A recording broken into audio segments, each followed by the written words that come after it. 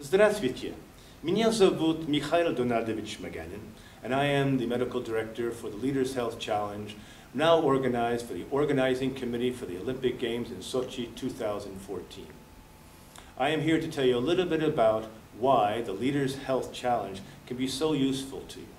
It really has two good news to it. One is a very good news and one is a great news. The good news is that despite the challenges and the stresses that are waiting for you for the next 18 months before the games begin, I have a special project for you to help you stay on top of your game and to get you ready for the games. The great news is that it only takes between 18 and 23 minutes per day.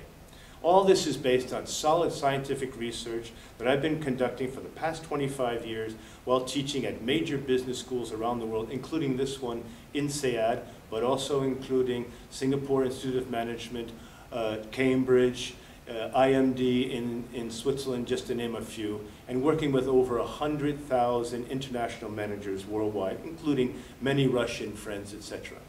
So, we're going to play a challenge. This challenge, the Leaders Health Challenge, has three aspects to it. It's very simple, it's extremely effective, and it's a lot of fun. It's a lot like the Olympic Games themselves.